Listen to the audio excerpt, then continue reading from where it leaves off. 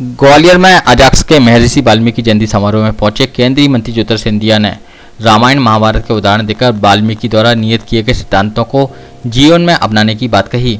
मध्य प्रदेश अनुसूचित जाति, जनजाति अधिकारी संघ के बैनर तले इस महर्षि वाल्मीकि जयंती समारोह में सिंधिया के साथ ग्वालियर सांसद विवेक से जुड़कर प्रभारी मंत्री तुलसी सिलावट ऊर्जा मंत्री पदम सिंह तोमर, उद्यानिकी खाद्य प्रसंस्करण मंत्री भारत सिंह कुशवाहा मौजूद रहे।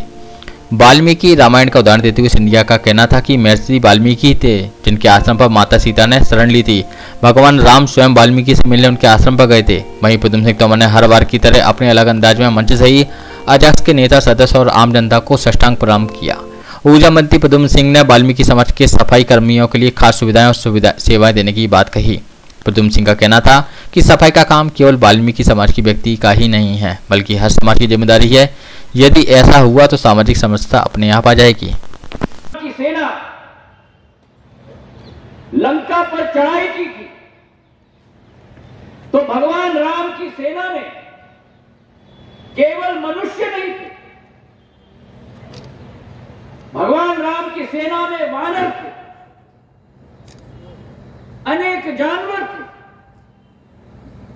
किस तरीके से केवल मानव जाति को नहीं लेकिन संपूर्ण सृष्टि को एक साथ में लेकर विविधता में एकता पैदा करना ये महर्षि वाल्मीकि जी के, के रामायण से हमें सीख मिलती को नवीन आशा और नवीन विश्वास के साथ वो नहीं पाएँगे।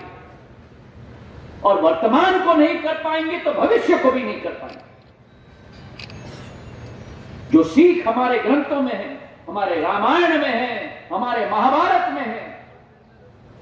वे सीख आज भी केवल भारत के लिए नहीं, लेकिन विश्व के लिए गुरु ग्रंथ और गुण होते हैं। और आज मैं ये बात आपको कह रहा हूँ, क्योंकि आज के भारत में बहुत परिवर्तन आया। सत्तर साल में केवल भारत के महापुरुषों की सी इस नई पीढ़ी में भी अंकित करना बहुत ज़रूरी है।